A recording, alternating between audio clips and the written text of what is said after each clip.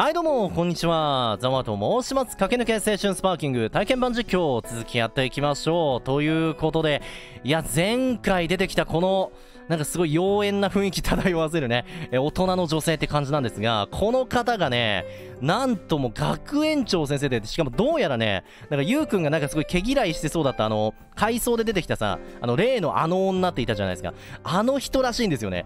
いやまさかいやちょっと強敵もなんかラスボス集漂わせてるんですけどもまあ学園長というだけでもうあの方針をさ定めた人ってことでしょ？だからもう冷徹で冷酷な人なのはもう確定なんですけれどもまあそこにしかもねあのーなんか、ゆうくんをね、美咲家の人間にどうやらしたいみたいな どう、どういう意図があるのかさっぱりわからないんですが、まあ、とりあえずね、えー、なごみさんは結構こう、なんか誰かをコントロールして、えー、操って、うーん、どうにかしていこうみたいなタイプの、あのー、方なんでしょうかね。まあ、そういうなんかカリスマ的な、うーん、ところがありそうなキャラなんですが、まあ、どうなっていくのか、じゃあ続き見ていきましょう。いや、遠野家に来てしまいましたけどね。この家もずいぶん久しぶりね。りっちゃんは？りつは今日は図書室で勉強してますよ。知っててこの時間帯を選んだんでしょさすが我が弟子。弟子？ああもうなんかなんか師弟関係なんだったっけ？あのなんかま俺かつての俺にとっての魔法使いみたいな感じでさゆうくん言ってたから多分なんかリリさんにとってのゆうくんみたいな感じだったんだろうな。うわゆうくんにはお見通しなのね。バイト先には少し遅れると連絡を入れ家に連れてきてしまった。うーん。あんな話を道端でできるわけがない。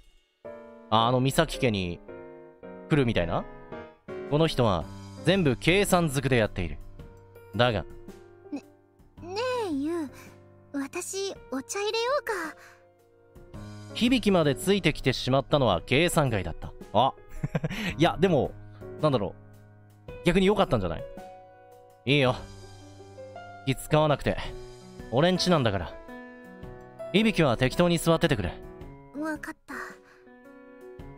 いつもの元気がない。いやー。まあ多分でもなごみさんは見せつける意味でもこううーんやってるのかもしれないね。こう、わざわざも響さんまで、こう黙認というか。俺が、美咲家の人間になるという話が気になるのだろう。冷たいのは麦茶しかないけど、いいか？うん。悪いわね。いえ。ゆうくん、ゆっくりとお話ししましょう、ね、時間ないんじゃないんかい。時間を作って、あのー、やってきたんじゃないんかい。にんまりと笑う。つれえ つれえつって。ため息をつきながら3つのグラスに麦茶を注いだ。ほら響俺はトンとグラスをグラスを響の前に。ありがとう。それから無言でおばの前にも。もうおばっつってるもんね。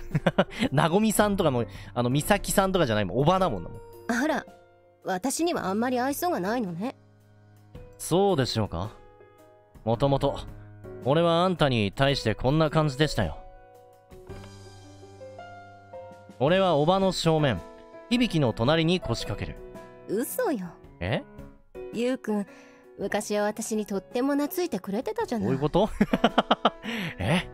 親戚の中では私がゆうくんと年も一番近かったし。どういうこと？ああなるほどね。だからもう60代70代がいる中でこう1人だけこう3 4 0代が いてみたいな感じだったのかな、まあ、3 4 0代っていうとあれかもしれないけど。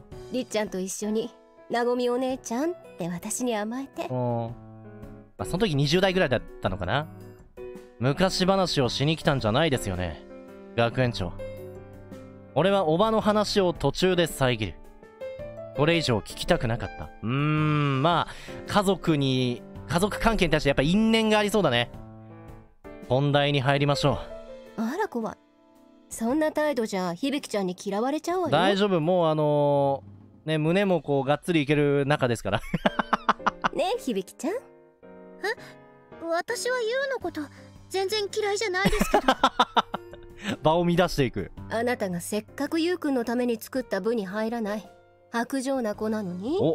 おそこら辺もちゃんと把握してんだね。それとこれとは話が別です。おう。ユウにも事情があるの分かりますから。ごめんね意地っ張りな甥っ子で。おいじゃありませんよ。俺はつい語気を強める。あなたたち一族とはとうに縁を切ってます。今さら家族面するのはやめてもらえませんか学園長。ユウどうしたのよ？急にそんな怖い言い方。どうしたんだろうなマジで。え何何？どうしたの？何があったのかさっぱりわからんけど。それに縁を切ったってどういうこと？いいのよ響ちゃん。この子頭はいいのに時々感情的になるのよ。いやいやいや。癖は直しなさいって言ってるでしょ。なんだ癖って？まるで小さな子供に言い聞かせるように。挑発とも取れるような声色と視線が俺に向けられる余計なお世話です。落ち着け。相手のペースに飲まれるな。必死に自分に言い聞かせる。美咲家の人間になれば楽な生活が送れると分かっているのに。楽しい青春を謳歌できるのに。それを一時の感情で自分から捨てるなんて。愚かだわ。いやーでもその美咲家っていうのがかなりヤバい家だったらまあさすがにねとこれはついてけんわってなったらまあ抜けるとは思うけどさ。相当まあだから相当えぐい家だったんだろうな。きっと姉さんに似たのね。姉さん？あんた！一瞬で頭に血が昇る。これはこの女の手口だ。相手の感情を荒立たせ思考を麻痺させる。ユウダメ！お願い！ユウ座って！お。頭では分かっていた理性を保てと何度も自分に言い聞かせていたはず。が感情をコントロールできない。うー。んなんかいろいろあったんだろうな。響の手が俺の腕をがっちりと掴む。ユウ大丈夫だから。私がそばにいるから。いやマジか。小さな響の手の感触。何これ？あのもう響さんルートですか？これ最終決戦みたいな感じになってるけどもうこのバチバチ感というか。かすかに震えているのがわかる。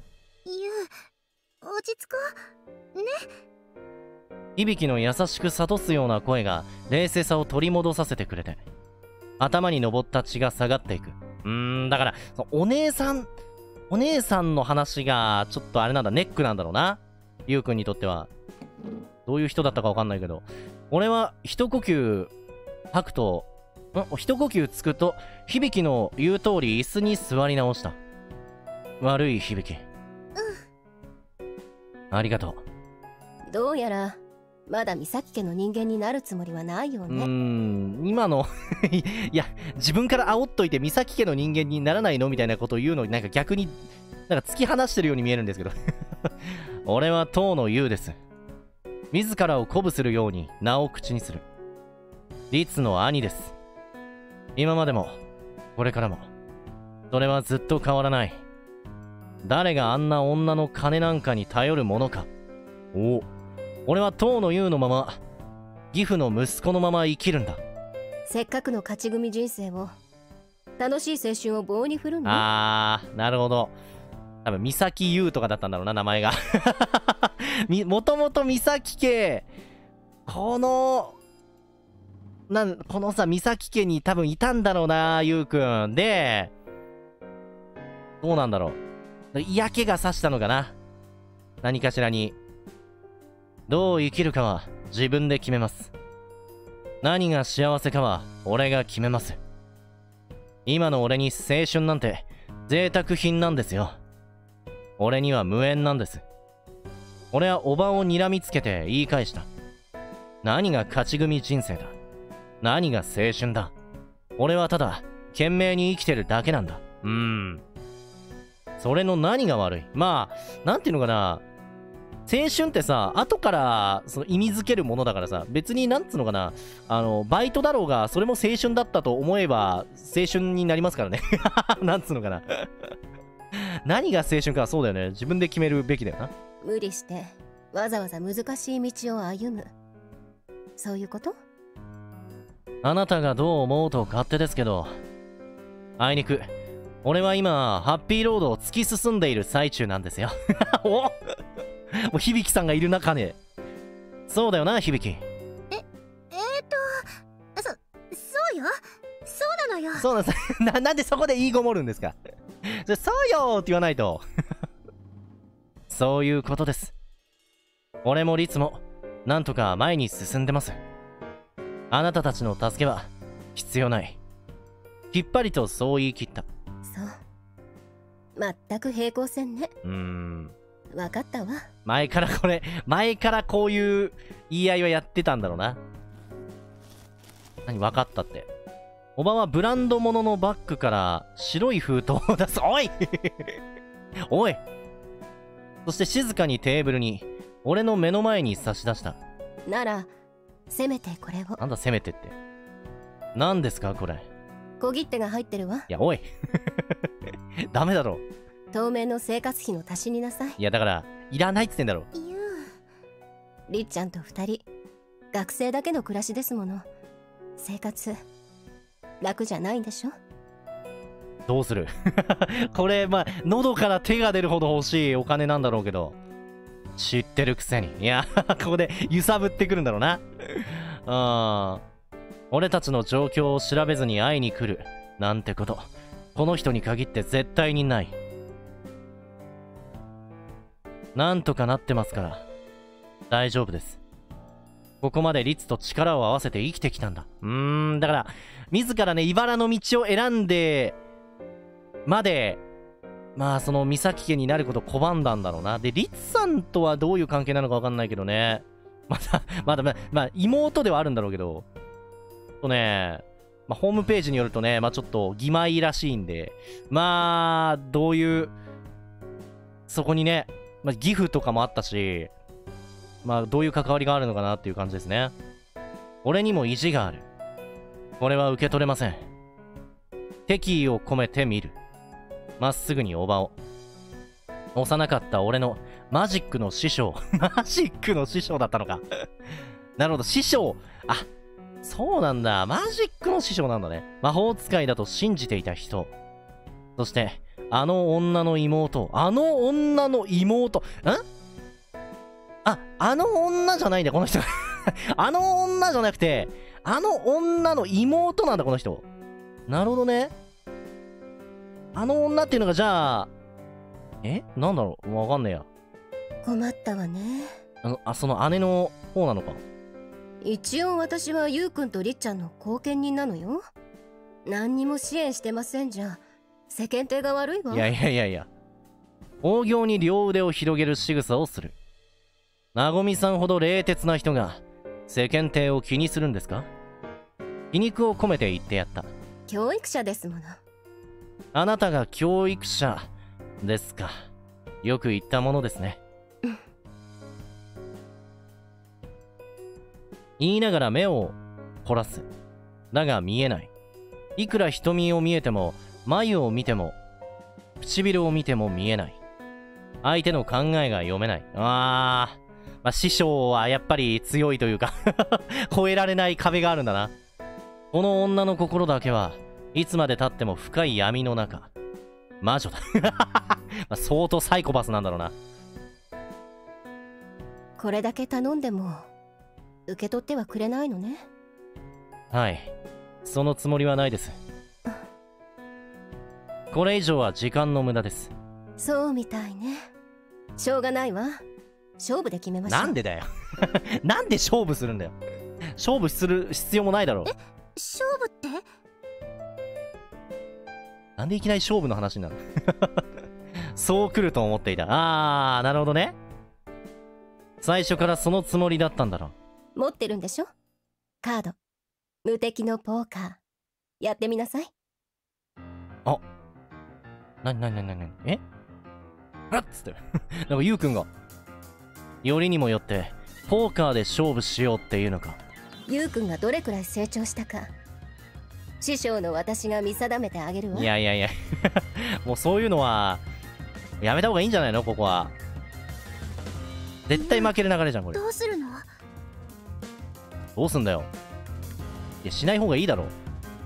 俺がおばにマジックを習っていたのははるか昔だ。あれから新しいテクニックをいくつも習得した。それに何より俺の持ちカードでの勝負。絶対的に俺が有利な条件だわかりました。その勝負受けて立ちます。もし俺が勝ったらその封筒を持って帰ってください。そして風見学園の改革案も撤回してほしい。お 一気にそこまで行くの。負けるわけがない。いやーそれダメ。フラグだから。それならこれはチャンスのはずだ。なごみさんが勝ったら。全然ダメね。交渉が雑すぎるわ。うそんなやり方じゃ誰も相手にしてくれないわね、んうんだって相手にする必要ないもの。それにもう一つゆうくんは失敗してるわ。勝負の心構えからして間違ってるのよ。自分が勝った時のことをもしなんて言ってる時点であなたは私に気遅れしてる。どう？違う？まあそれはあるかもしれないな。俺は挑発だ。この人のペースに飲まれないよう冷静さを保てでもいいわ。特別よ。え？もしゆうくんが勝つことができたら考えてあげる。考え 考えるだけか。その代わり私が勝ったら封筒は受け取ってもらうわ。でも受け取るとは言ったけど使えとは言ってないから受け取って相性あのどっかに保管しとけばいいんでしょ いつか返すためにな。あなたの意思に関わらず。わかりました。その条件で勝負しましょうどうせ勝つのは俺です。ゆゆうちょっとそんな喧嘩越しで。ちょっとちょっとあ相手のペースに飲まれるなとか言ってるけど飲まれ始めてないなんか。いつものゆうらしくないよ。うん。ごめんね響ちゃん。これは身内の問題なの。黙って見てて。身内のいや身内なんでこんなギスギスしてんだよ身内が。はい。それにこの子にはより厳しい指導が必要みたいだわ。どういうことだよ。指導だって。あなたに習うことなんてもう何一つない。あの頃の俺じゃないことを思い知らせてやる。いやだからそれ負けフラグなんだって。もうやめとけってマジ。感情が高ぶる一方俺のん？頭の隅でかすかに警告音が鳴る。この女の手の内で踊らされてはいないか。挑発に乗せられてるんじゃないのか。いやこのゲームは俺のお箱。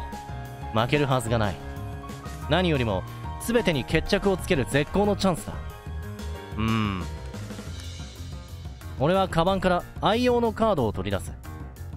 改めてください。そのまま何のアクションも加えずにデッキを差し出す。だがいいわ。シャッフルしなさい。他人のカードなのに確認もしないんですか？しかも俺にシャッフルさせるだと。ちょっとちょっとなんかあれだよね。余裕をぶっこいてる感じだね。どんなイカ様が仕掛けられてもいいと。ええ。そんな必要全くないもの。おお。舐められている。舐められてるな。俺が何をしようとどんな手を使おうと自分が勝つ。この女はそう言っているんだ。私は最後に1回だけ切らせてくれればいいわ。うわカットが終わってデッキから手を離したらデッキには触れない。有利な条件ならありがたくもらっておきますよ。そうそう。それでいいわ。かっこつけて負けるより泥臭くても価値を拾いに行きなさい。価値をな。私が教えたこと。守ってくれて嬉しいわ。おばが唇の端をかすかに曲げて微笑みを浮かべる。全然なんか集中できてなくない？ゾクッとし ゾクッとしたってなんだよ。幼い頃あの笑顔を見た後俺はいや今はいい。なるほどな。ちょっとこうドキッとしてしまったのか。ちょっとなわ分かるわ。うん分かる。この笑顔されたらちょっとな。勝負は1回です。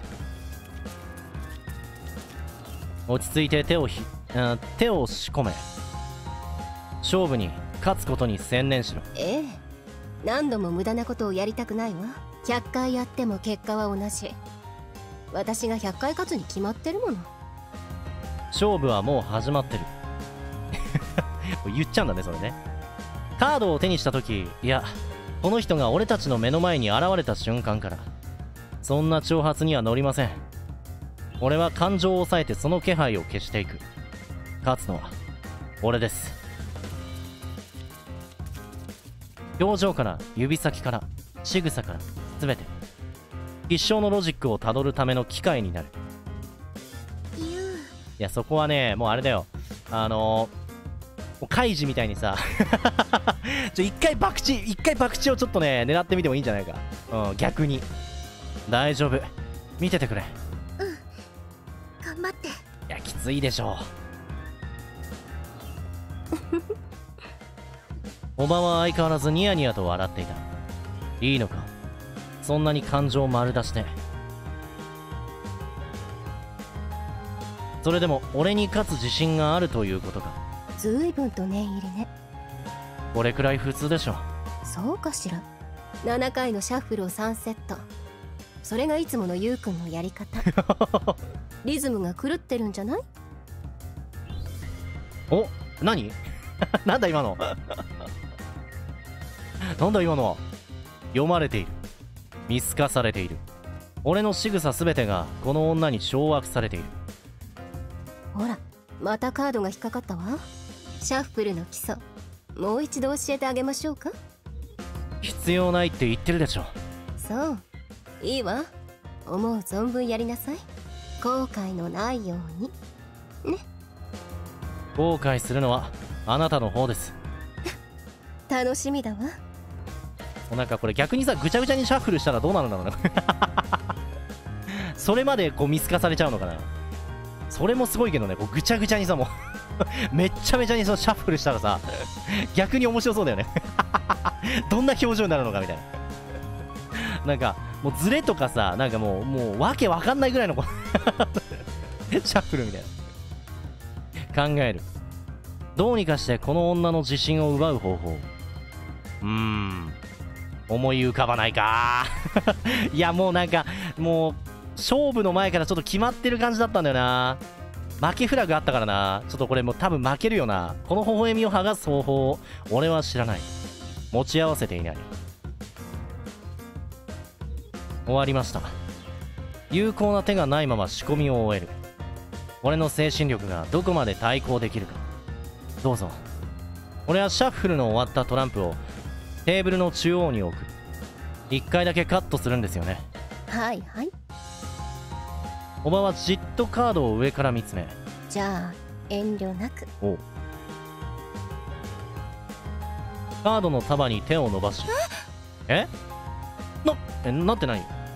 頭の1枚を持ち上げてすぐ元に戻す。あ何もしないの？何もしないってこと？指先で頭のカードを押さえたまま微笑んだ。なんじゃそれ。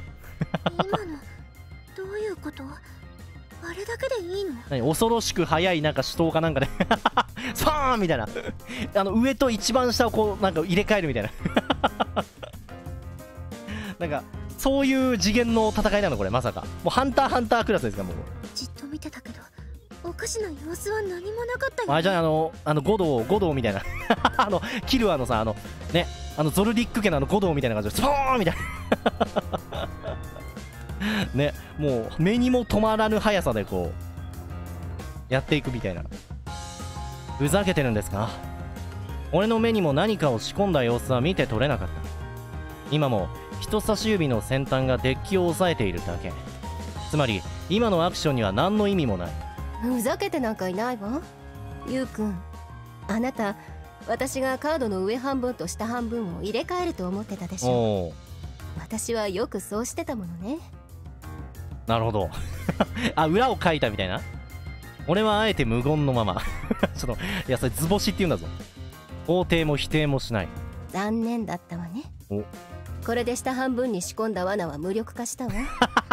なるほどね。当たりでしょ無表情を貫く。だがおばは気づいているだろう。心配しなくても大丈夫だ。まだ全てが無力化されたわけじゃない。いや仕込んでたんかい。こうなることも想定していた。ああまあまあまあまあ。他にも手はある。やっぱりこうして欲しかった？お？おばは微笑みを浮かべながらデッキの上半分を手にして持ち上げるもちろん罠にかかってほしかったですよ。感情を押し殺したまま言った。俺は眉一つ動かさない。いやいやもうそっからあれなのあれではもうぐちゃぐちゃにシャッフルすればいいね。もう全てを強運にかけるみたいな。ぐっちゃぐちゃにして。ね。だからもう今までの教えとかも何も関係ない。なんだただの運ゲーにすればいいんだよ。そうそうなればどうなるんだろうな。逆に面白くなりそう。心は読ませない。そう。ならあえて罠にかかってあげましょう。おっと？おばは以前と同じようにカードの上半分と下半分を入れ替えた。あ2回カットした。1回カードをカットしてえこれ2回目じゃないですか？あこれ反則負け。反則負けなんじゃないですか？1回カード持ち上げてねえ。そういうそういうのはないか。今度こそデッキからおばの手が離れる。まあカットしてないもんな実際。あの あのちょっとピラッとめくってだけでな。どれだけ感情を抑えても心臓が高鳴る。ダメだ。動揺するな。相手に何一つ気取られるな。これで私のシャッフルはおしまいよ。他にはどんな罠が仕掛けられてるのかしら。ドキドキしちゃうわ。心にもないこと。だが俺の仕掛けた通りにことが運んだのは事実。勝負はここからだ。響ちゃんゆうくんと私に上から交互に5枚ずつ配って。私が？ええ。そうするのが公平でしょ？いいわよねゆうくんゆう困惑と不安の混じり合ったような表情。無理もない。ここで自分が何かをすることになるなんて響は思いもしなかったの。うんまあでもでもなんかいい役だよね。表情を固める溢れそうになる感情を必死に抑え込む。それともシャッフルはゆうくんがしたんだしディールは私がやってもいいのかしら？思考と思考を頭の中で繰り返す。思い当たる可能性の全てでこの勝負を司る手立てを。響頼むよ。わかった。私が配るね。さすがに まあさすがにディールを相手に任しちゃうと危ないからな響がたどたどしい手つきでデッキを取りカードを配る。俺とおば互いに5枚のカードを手にした。私はこのままでいいわ。おっと？俺は全部だ。俺は5枚の手札を捨て新しいカードを引く。視線はカードの山でなくひたすらおばの視線を追っていた。お。この女まばたき一つしない。まばたきどころかずっと閉じたままだけど 大丈夫？何も見えてないけど。動揺などみじんもない。心があるのさえ疑いたくな疑いたくなってくる。やはりこの女は魔女だ。ゆうくん約束通りこれは置いていくから。おもう勝ちを確信してる感じだね。おばはバッグを持ち持って立ち上がる。はい約束は約束です。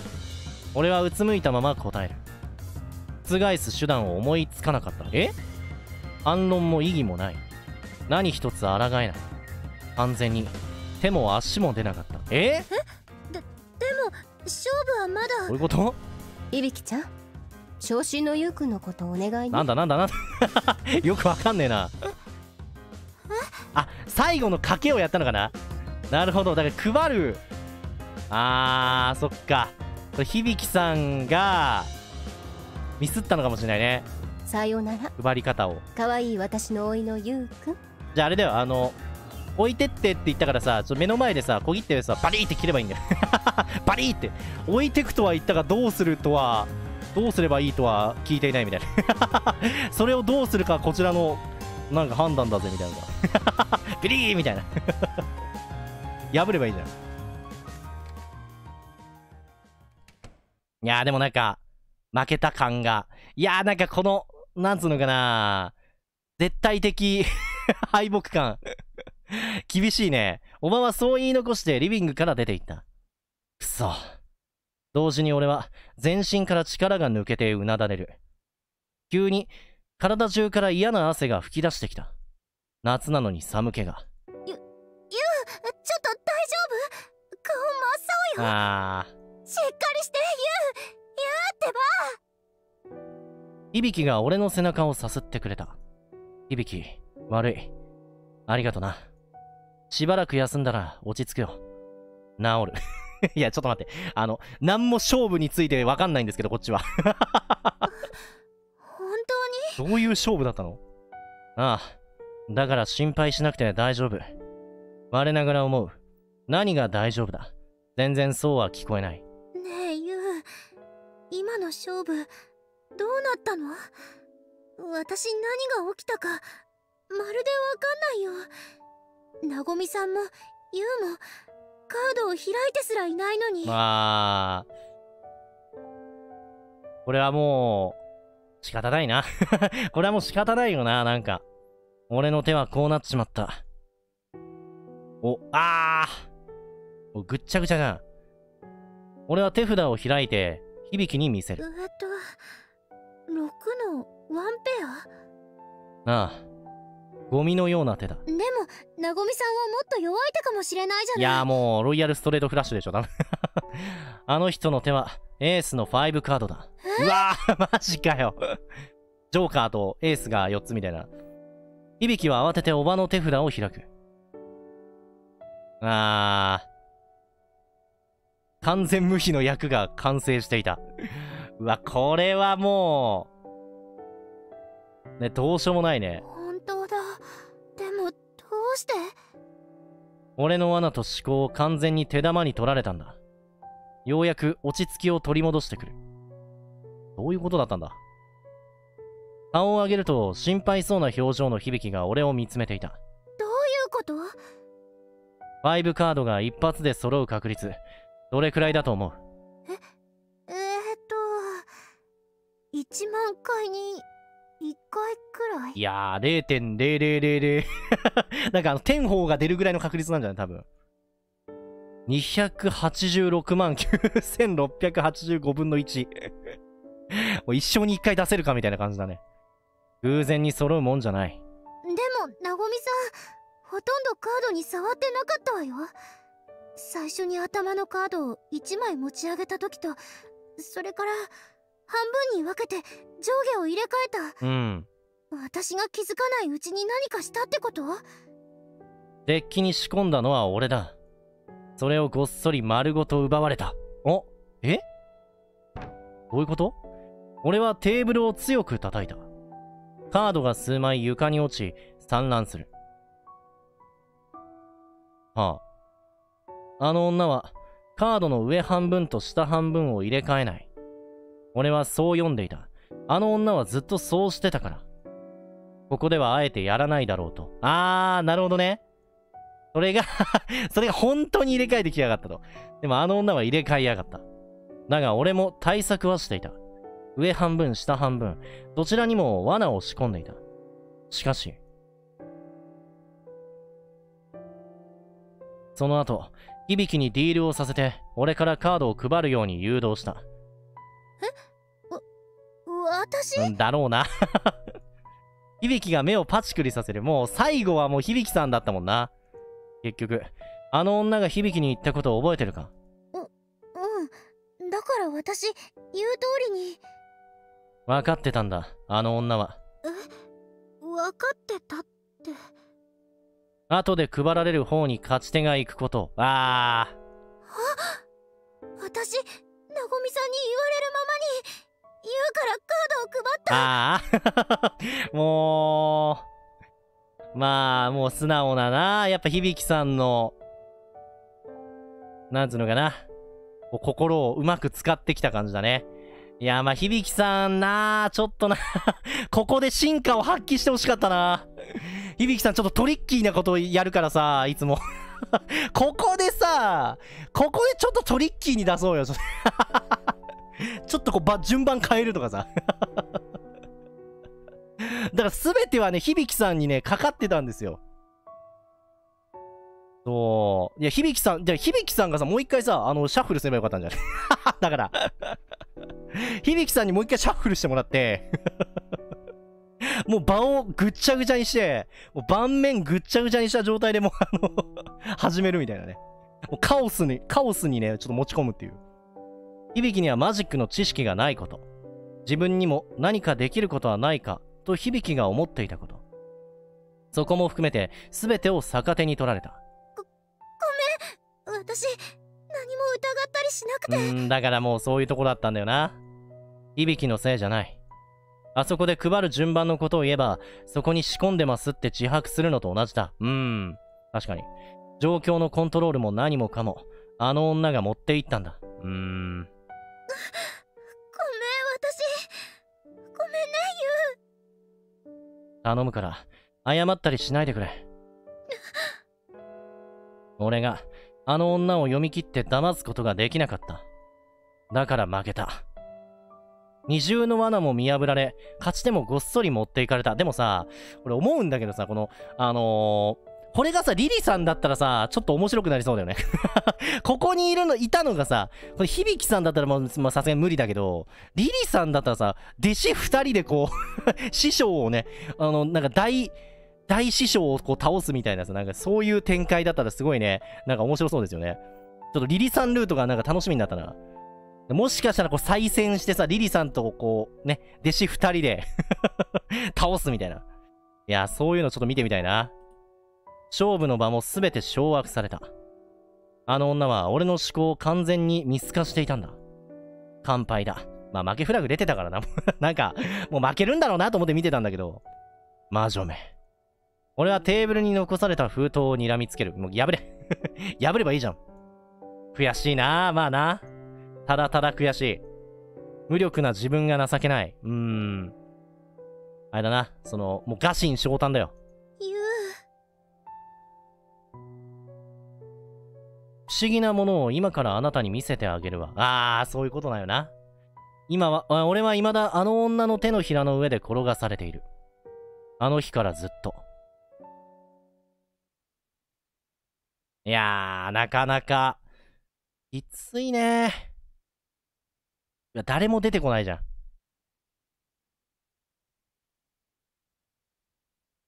あの遠野くんが師匠がポーカーで負けたんですか？いや ちょっとなー厳しいよね。もうなんかあれだよもうリリさんリリさんがさあのあの場にいてほしかったな。だから響さんがいることも全部織り込み済みだったのか。まあつまりもう響さんも逆に来てほしかったみたいな。ね。なんかそんな感じだったんだろうな。いや、響さんなもうちょっとなんかトリッキー。いや、もうなんなんだろうな、響さんな。なんかもう響さんさ、なんだろう。あそこでさ、うん、なんかできなかったのかなうん、まあ響さんの良さなんだけどね、ああいう素直さというかね。うん。いや、なんか、響さんがなんかしてほしかったなって。い うもうなんか負けフラグは分かってたから何かしらカオスに持ち込んでくれるのかなと思ったんだけどまあそのカオス要素がさまあそのシャッフルでありまあ響さんだったんだけど 響さん。いやーもうなんかああもう予想通りすぎてなんか響さんに怒りが。響さんに怒りがちょっと怒りの矛先が俺響さんに言ってます。ちょっとねなんかなかったのかなもう。ちょっとね予定調和すぎてさすげえつまんねえんだよね。すげえつまんねえんだよな。